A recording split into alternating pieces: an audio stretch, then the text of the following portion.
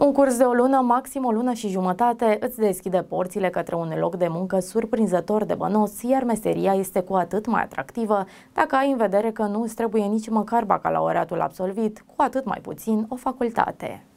Există o serie stufoasă de locuri de muncă pe care foarte mulți români nu le cunosc, deși vin la pachet cu salarii generoase. Joburile nu sunt neapărat noi, dar din cauza pandemiei au început să facă subiectul unei crize agresive de personal. Este vorba de însoțitorii de zbor, iar companiile aeriene se înghesuie să găsească oamenii în această perioadă, după explozia cererilor de călătorie a inaugurării de noi rute aeriene. Posturile de însoțitor de zbor sunt la mare căutare în 2023 și sub nicio formă nu implică studii superioare sau bacalaureat. Obligatoriu, în schimb, este un atestat EASA, care se poate obține la capătul unui curs ce durează doar o lună sau cel mult o lună și jumătate. În mod previzibil, ar trebui să știi și o limbă străină foarte bine, de cele mai multe ori engleza, dar și nivelul acelor cunoștințe este un pic interpretabil. Nevoia este foarte mare. Noi avem un parteneriat cu un operator aerian și cursanții școlii noastre au prioritate la angajare. Noi suntem norocoși că am prins parteneriatul ăsta, dar în general ei depun CV-ul când aud de anumite posturi disponibile, a afirmat Iulia Iovu, trainer în domeniul aviației. Având în vedere numărul mare de deplasări și timpul petrecut departe de familie, această meserie se prestează mai ales pentru tineri, dar și pentru orice persoane care nu au obligații. Salariile variază între 1500 și 3000 de euro în funcție de experiență la care se adaugă diurna și banii primiți pentru orele de zbor, relatează playtech.ro.